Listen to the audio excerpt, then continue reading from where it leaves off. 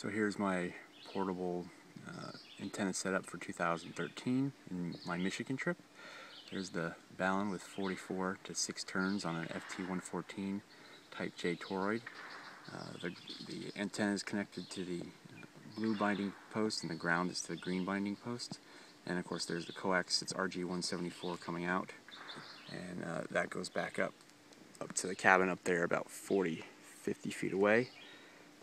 Uh, the antenna goes 25 feet up into a white pine tree, which I had to climb to get it up in there. But I have a string that lets me to let it down really easily.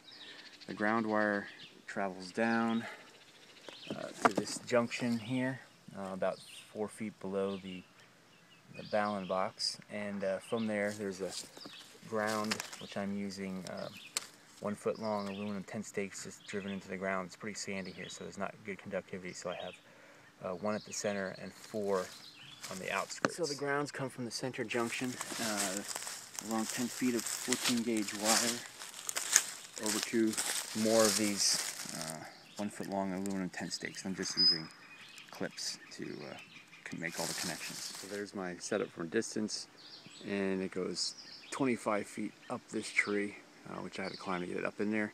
And then the uh, RG174 coax runs about uh, 40 feet up there to the cabin. Once the, once the coax comes out of the woods, it runs into this common mode choke, which is the FT140 toroid with 42 turns of the coax around it to clean up any noise on the, on the coax. And from there it runs to six turns of magnet wire, um, which is inductively coupled to the 7.5 inch loop stick and down to the to the radio. So once the signal comes into the radio, it goes out to the audio output over to the computer where I'm record, I can record it uh, for as long as I need to. This is actually right now uh, station uh, CJDC over in Toronto. This is daytime, so it's 450 kilometers away. Actually, a little bit more than that, but pick it up right now. It's not too bad. Here you can see my portable antenna in a vertical configuration that I use when I have access to tall trees that I can climb. If I don't have tall trees to access, I use this horizontal configuration which I'll run about 6 feet off the ground along a fence or some shorter trees if possible.